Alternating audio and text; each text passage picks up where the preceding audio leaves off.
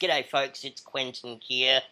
Uh, a little while ago, before I got sick and before I had to be rushed off to hospital, I did an interview with someone that has recently been inspiring me. Uh, this woman is a YouTuber. She's a social media guru. Uh, she's from Vancouver, Canada, where she is uh, lighting up the nation by giving seminars and talks about best practices for various different social media apps, various um, ways of branding businesses, branding individuals. Uh, and I thought that she would be a wonderful person to talk to to try and inspire others as well as the way she's inspired me. Her name is Sunny Lenarduzzi, and she is a wonderful person, and I recently caught up with her via Skype uh, to interview her. Uh, but as I said, I got sick and it all went to crap. But here is the interview. I hope you enjoy it. If you like Sunny, please follow her on her social media stuff. I will put a just uh, links to who she is below, uh, as well as um, go to her website at sunnylenarduzzi.com. Alright, please enjoy this new episode of Questions with Quentin. Ladies and gentlemen, Sunny Lenarduzzi, how are you? I'm so, I mean, after that intro, I'm so great. That was so kind. That was so lovely. And for you to say that I'm inspiring is pretty crazy because you're definitely an inspiration to me. So thank you. Well, uh, the, the reason why, I, I don't know how this happened, but you know how when you're on your Apple TV and you go to the YouTube app and there's this home section and it Mhm. throws up videos that are recommended to you. Yep. And your video, um, how to get more views on YouTube, was came up, and I watched it, Magic. and there were just so many things that you suggested that I was absolutely not doing, and so I did it, and automatically my views started going up, my watch time started going up, my subscribers started going up, and I'm thinking, damn, Damn, Daniel. damn. well, actually, I was kind of like, damn, girl. well, thank you. And I was like, Thank I'm going to meet much. this person. Because I just Yeah, didn't stop at here one we are. video. I immediately subscribed.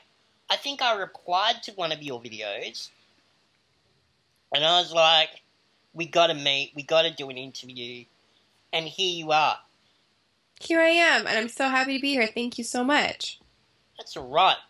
I first of all, I wanted to to sort of say that I've been an early adopter of technology just like you.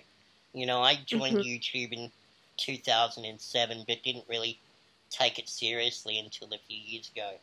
I joined Facebook in 2009, Twitter 2009. Um, you know, I'm on Beme, I'm on everything. Yeah. Um, I saw I'm- you interview Casey Neistat. He's one of my like YouTube mega idols. So I know, I know, mine too. Which is why I had to interview him.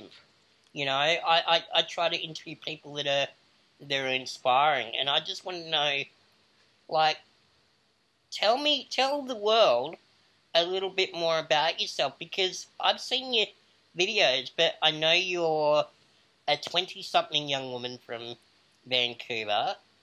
Hmm. Um, you uh, have social media background. You've got social media clients, but you're a bit of a sneaky sneaky.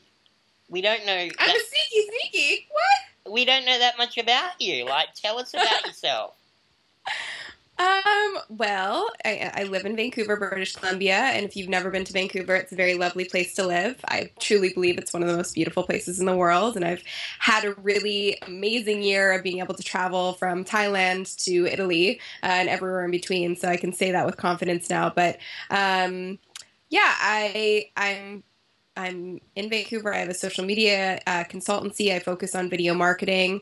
Um, but outside of my work life, which I love, and I feel very lucky that I love what I do. Um, and I've been able to merge my passions of communication, broadcasting, education, and social media into one kind of dream, very weird but wonderful career. Um, I love to dance. Uh, I was a dancer growing up, and so um, I still take dance classes, particularly Beyonce themed dance classes. Uh, I love Beyonce as well. And if yeah, you we'll follow get, me we'll on get social into that. media, We'll get into that. if you follow me on social media, you'll notice that, how much I love her. Um, and uh, I love green tea, Yep. and I love people. I love people. I love connecting with people. I love helping people. And my whole journey on YouTube really started completely on a whim. And it started because I just genuinely wanted to help people understand how to use social media and online platforms um, for themselves and for their businesses and to create a bigger impact. Not a lot of people want to make their career taking the elevator back down and helping others. And I want to know where did that passion for helping others, where did that passion for technology and community come from? Did it come from your parents? Did it come from Mm. siblings? Did it come from education? Where did that passion in your heart come from?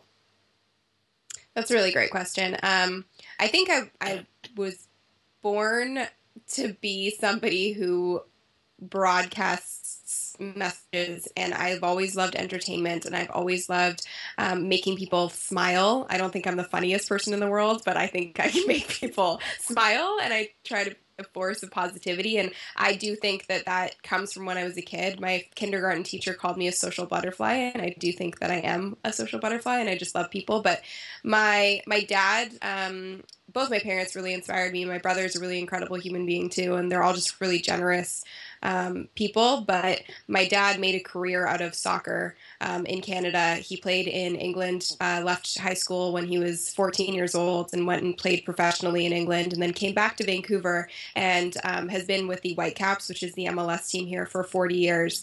And i've seen him his whole career just give back and create opportunities and create a legacy for um, for soccer in Canada. And he's a huge inspiration to me. And one of my first um, mentors and bosses, actually, and one of my only full time jobs that I've ever had because I truly feel claustrophobic in full time jobs um, and working for other people. Uh, my yeah. Um, when I was really young, I think it was 20, 20 21 or 22, um, my boss sat me down and in one conversation really changed my whole trajectory of life. And he, um, it was a social, um, social entrepreneurship incubator that I was working for. So every company that we worked with um, had some sort of societal impact and value. And so that taught me a lot in a very early and, and, um, you know, imperative part of my career. And um, my boss said to me, you know, where do you see where do you see your lifestyle being in in 10 years from now? Like what do you vision envision your life to be and what kind of impact do you want to make? And then also what do you want your legacy to be? And i never really thought about that before. And so those two things are pillars of everything i do. Everything i do i want it to have a long-term impact and i want it to um, stand the test of time and i want to create a legacy where if i were to die tomorrow people would say she made me smile. She was positive she was a force of just joy and, and um, she helped me in some way shape or form that's if if someone could say that about me i can die happy I haven't said this publicly yet, but I've found the YouTube community. It's a very close knit community, but it's a very cliquey community, and I've Yes, already and yeah. I've found that YouTube has changed very much in the last twelve months, Mhm.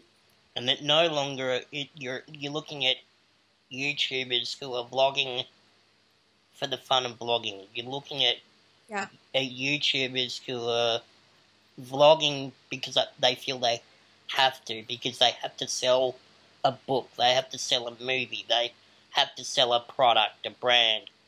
And I'm starting to feel as though a lot of these vloggers and, and YouTubers are starting to feel a little bit disingenuous.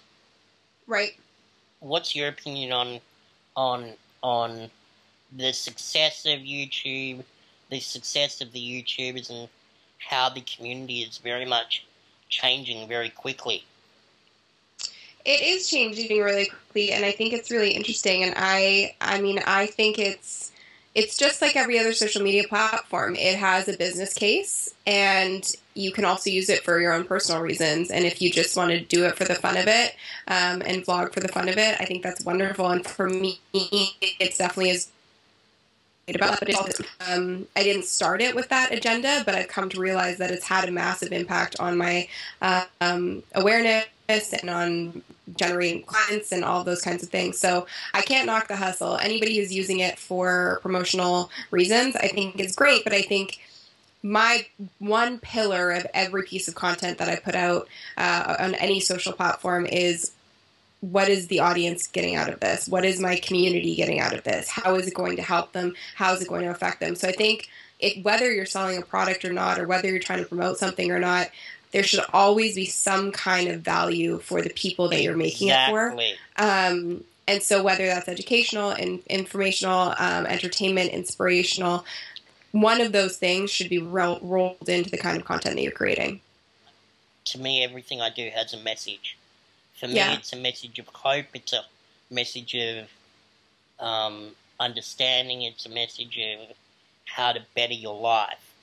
Um, Mhm. And I would hope that a lot of other YouTubers are doing that as well. But I'm just seeing a case where it's a little bit more uh, self-actualizing than that. Yeah, I think there's a really interesting thing happening in social media right now where, um, and I think this would be true of really any platform where you're allowed to put yourself out there, is that there's going to be people who are using it to drive their ego, and there's going to be people that are going to be using it to try and serve others. And I think the people who are successful in the long term are the people that focus on serving others in some way, shape, or form. when you're influencing companies to use social media, um, do you talk about that message and how they want to portray themselves? I do, and I think that that I think everything in my life has happened for a reason. I believe that's true of most people, um, and I think there's a lot of serendipity in the things that have happened in my life. And I think my first job working with a lot of companies that um, gave back and had societal impact ingrained in them, and that being a mandate of what we what we worked on and who we worked with, um, really affected me because now I always think about that triple bottom line. I always think about purpose. And so, any company that I work with or a personal brand that I'm working with, I'm like, okay, before we even talk about the tactical stuff, before we even talk about platforms that you want to be on, what's the impact that you want to make? What's your ultimate objective? What's the vision for your long term legacy in your business? And then we work backwards from there. So, I always mention that first. And I always say, this is not about you. I have this whole theory I call it we versus them. And I was just talking about this recently in one of my presentations. And um, the example was I said, Does anybody know what kind of content they want to put out there? And it was a bunch of business owners. And one of them said, Yeah, we want to talk about our new lip balms. And it was an orthodontic clinic. And I said, Okay, well, why? And they said, Well, it's the best lip balm out there. And it's different than every, every, every other lip balm, blah, blah, blah. And I said, Okay, so why does that matter to your customer? And it doesn't at the end of the day. So I was like, instead of talking about the features of the lip balm, talk about how it's going to affect those people's lives. And this is not like a monumental case study, but every business can use this, where you can take that fact that yes, you have something to sell, but talk about it in a way that's going to impact lives. So you could talk about how it's going to give you the most kissable lips for summer or something like that, and do a top five list of how it's going to make your lips smooth and protected and keep you protected from the sunshine. Um, so have some sort of reason why it's affecting your customers, and that's that's how you create good content that people actually care about. Now, I've seen you use Snapchat a lot. Yes, I Uh, love it. I know Now. you love Snapchat. You like I love you it now. like you like the female DJ Khaled. that's the highest compliment I've gotten all week. I mean, damn. I damn. I mean, I wouldn't totally agree with that. He'd probably be offended by that com- comparison, but Well, you're I would better take looking than DJ Khaled. I gotta put that, put that out there. well, thank you. Don't worry, I'm not hitting on you. Um, uh, moving right along. Where do you see yourself and your community evolving to in say, and I won't say five years time because in technology, five years time is so ancient. But where Yeah. would you like to see you and your community evolve in say twelve months time? Oh, that's a good question. Um, I just really just want to see it continue to grow. I want to make it a really honest space where people are genuinely going after goals that are going to have an impact um, and are meaningful. And I really want it to be where a place where I'm extremely transparent, which I think I have been um, about the process of building a business. And um, I think there's a lot of emphasis on brand. And I'm all for a really great brand, but um, I really want to share with people the ins and outs of creating a successful online business and the ins and outs of what my business looks like. Because I think there's a lot of mystery around how this actually works. And um, yeah, I just want to make it an honest, positive community to be thriving and a place where everybody's supporting each other. That's my my vision for it. Okay, I'm going to give you quick fire questions before we wrap up. Are you Okay. ready? I'm so ready. I love rapid fire, so go ahead. Okay, who do you watch on YouTube the most? Casey Neistat. Okay. Uh, what is one of your biggest pet peeves in social media? Dishonesty. Nice. Um, top three go-to apps on your iPhone. Snap. Snapchat, IFTTT, and Mail. Here's where Sunny Lenarduzzi does the pimp out to herself. Oh, Where can All right. where can we find all about Sunny Lenarduzzi? Because I don't want to do this. I want you to do it. Pimp yourself out to the audience and go. Okay, this is totally not my strong suit, but my website has everything that you need. It is sunnylenarduzzi.com, and then all of the social media, marketing, branding tutorials are on YouTube as well as on my blog on my website. So youtube.com slash sunnyleonarduzzi, Twitter, Instagram, Snapchat, Facebook, everywhere else, it's Sunny Lenarduzzi too. Um, but the main hub is my website. Folks, I can guarantee you that you will have your mind literally blown apart by what this woman can teach you.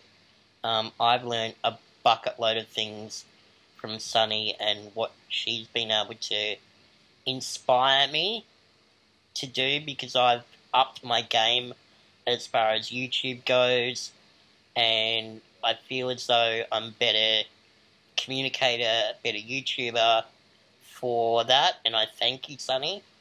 Thank you.